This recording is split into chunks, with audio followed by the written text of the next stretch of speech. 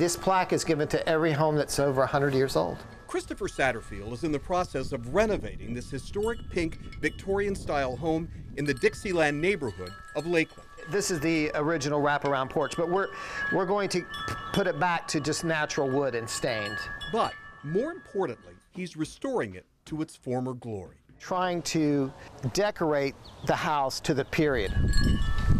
It's a house he and his son had admired and then learned it was for sale.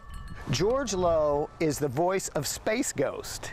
He's a very famous voice-over guy. He's selling it. It used to belong to his mom. His mom passed away, and it's been, you know, derelict, abandoned for about two years now. And at the signing, uh, George Lowe gave me the original abstracts. He goes, here you go.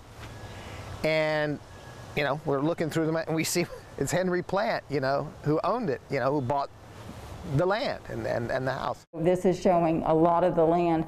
Well, Mr. Plant brought the railroad to Tampa back in 1884 and established a string of hotels, railway lines, and steamship lines, and really opened up Florida um, to the north. Christopher reached out to the curators at the Henry B. Plant Museum in Tampa.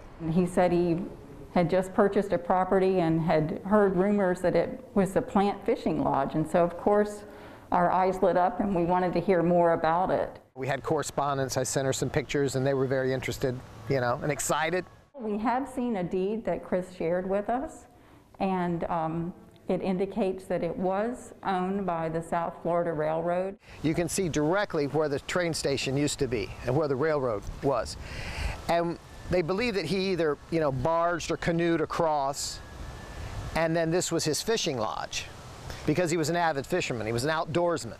He could have. Um, we do know that Plant loved fishing, and each one of his railway resorts, he had eight of them in Florida, they all had a fishing component. And the house and museum share some common details inside. And one is the fireplace here. This is all hand-carved mahogany here.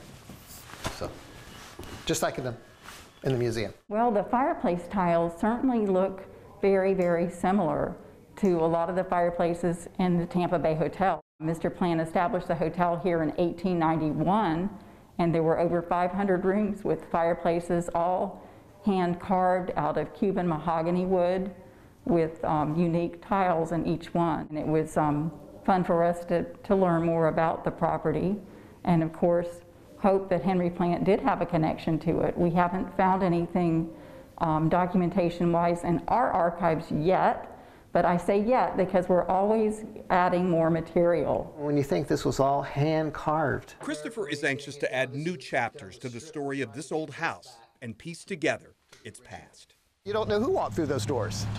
Presidents, uh, dignitaries, you know, who, who knows who was here. But to have something which is like an, a historical monument for them, for this area, everybody's just super excited. We hope that it goes on many years for others to enjoy and maybe possibly one day it'll be a museum.